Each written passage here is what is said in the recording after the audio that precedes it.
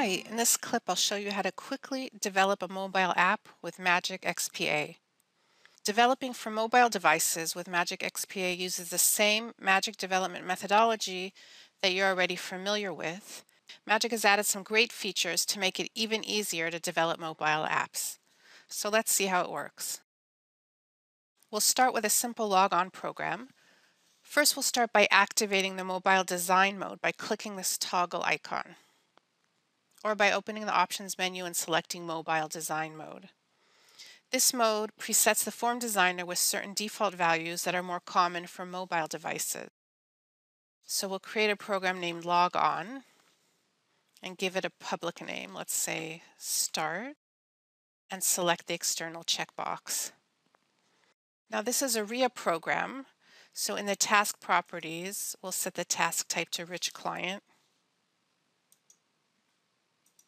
click OK. Now we're going to add two virtual variables. The first one will be for the username, and we'll set it to alpha, the length of 10.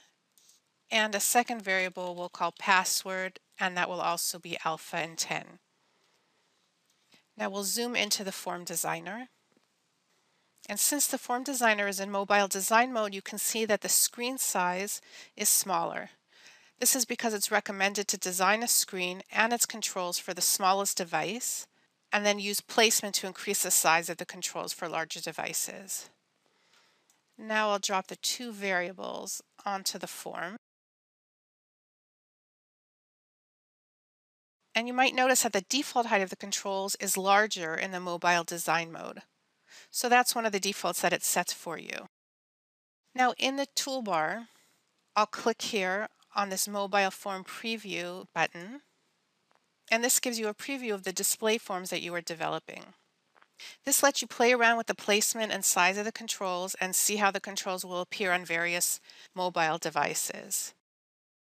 In this pane, you can select which mobile device you want to preview, such as iPhone 6. And next to the name, you'll see the dimensions of the device.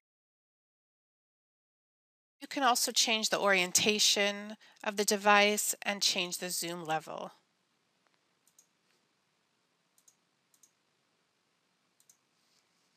Now you can add your own devices by going to the Options, Settings, and Mobile Devices. And whatever is defined here is saved in the Magic INI file. So let's go back to the Form Designer. And now we'll deal with the placement that we mentioned earlier. I'm going to mark here both edit controls and search for placement. And in the placement property, you set up whether the control is moved or resized when the parent form or parent container is resized. And here you'll see four placement values, x, y, width, and height. And when the x is 0 and the width is 100, like here, the controls will increase when the form width is increased. And this is the behavior I want, so I'll leave this as is. Now let's add a button control to the form. Now I want it to be in the center, so I'm going to click here center horizontally. But you can see here in the preview pane that it's not in the center. So if I want to make sure that it always appears in the center, I'll go here again to the placement property and I'll set the X to 50. And now you can see here that it's in the center. And we'll even switch between devices or orientation and you can see that it still remains in the center because of the placement that I just put on. Here it is in the center. Now when using colors for mobile devices, it's important to remember that mobile devices do not support the Windows system colors this means that whenever you use a system color on a control, the appearance of the control will be native and defined by the operating system. If you want to have full control over the appearance of the control, you need a non-system color. To create a non-system color, we'll zoom here from the color property and we'll click create. And we'll zoom from the foreground column and we'll select green now we'll leave the system drop down list empty, and that's what defines it as non-system. And the background color should also be non-system. Since we see here an ARGB value, as opposed to the text here above, we know this is a non-system color. So I'll leave this as is. And I'll click select. And you see here in the preview a different appearance for the edit control since it's a non-system color. And let's bring it back to the original color. The project is now ready to be executed on your mobile device.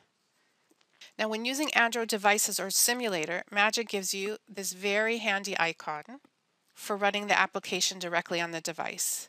Now once it's toggled on, running the application or the program by F7 will already install the pre-built magicdev.apk file on your device or simulator and will run the program or project.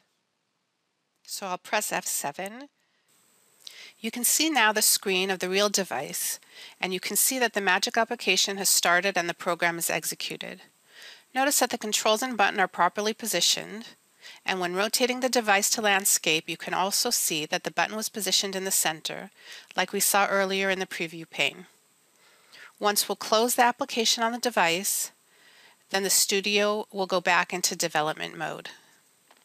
Of course, you can also use your own customized application, and for information about this, have a look at the Developing Mobile Applications concept paper, which is also available as a PDF with the Magic installation.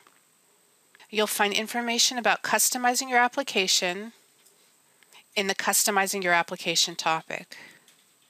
Now there are some prerequisites for executing your mobile device and you can find them all listed in the Mobile Development Environment topic.